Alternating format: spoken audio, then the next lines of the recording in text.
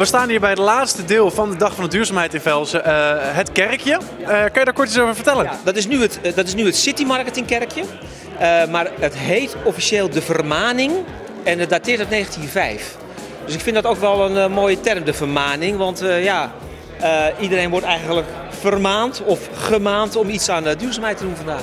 Wat is hier zojuist gebeurd? Nou, we hebben niet over mobiliteit gesproken, maar over recreatie in een uh, prachtige city marketing kerkje van Puntenmuiden. Alle onderwerpen waar uh, de gemeente mee te maken heeft, waar we hiermee te maken hebben, daar kun je duurzaamheid bij betrekken. Ga je naar een recreatiegebied toe, ga vooral op de fiets, wandelroutes, fietsroutes, maar ook ondernemers die bezig zijn met duurzaamheid. Dus we hebben vandaag gesproken met een aantal ondernemers. We hebben vandaag een city marketing café gehad. Dat doen we een aantal keer per jaar vanuit City Marketing Velsen. Uh, vandaag was het thema recreatie. Nou, we hebben in Vels ontzettend veel natuur, heel veel groen.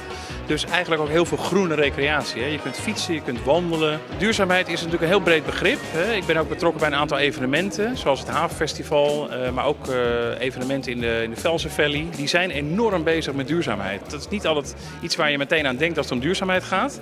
Maar die evenementen die tienduizenden mensen trekken, die zijn ongelooflijk goed bezig met duurzaamheid. Kijk, als je zo'n festival neerzet, dan bouw je voor een x aantal weken een heel dorp.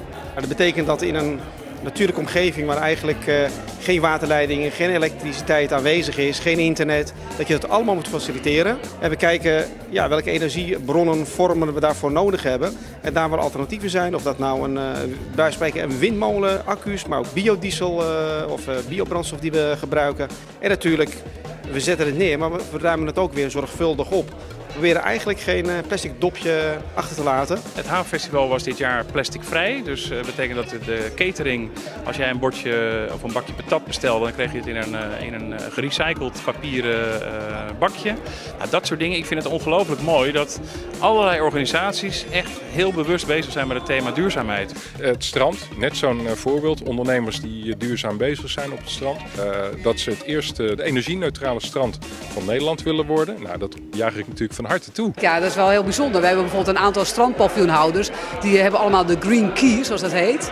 En de Green Key betekent dat, dat je dus echt heel goed bezig bent op het gebied uh, ja, van, van bijvoorbeeld uh, bepaald linnen wat je gebruikt. Of dat je uh, toiletwater, regenwater is waarmee je doorspoelt. En nu net hoorde ik weer van een Beach die is nu heel druk bezig met zonnepanelen plaatsen. Dus wat dat betreft zijn we in Vels heel goed bezig. En jullie werken ook samen met andere festivals? We hebben heel nadrukkelijk met elkaar gekeken. Drie verschillende festivals. Als we het nou eens combineren, dat je met elkaar ook minder impact maakt op de omgeving. Duurzaamheid denk ik begint bij jezelf. Dus ook bij ons als festivalorganisatoren.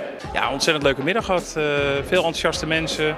Uh, ideeën zijn er, uh, zijn er geventileerd. Iedereen is enthousiast. Dus ik vind dat echt onwijs leuk. Dat voelde ik vandaag ook wel weer. Dat mensen heel erg trots zijn toch wel op het gebied waar ze wonen. Het is hier gewoon te gek om hier te wonen, om hier te recreëren, om hier te werken. En ze zijn er blij mee. Ja.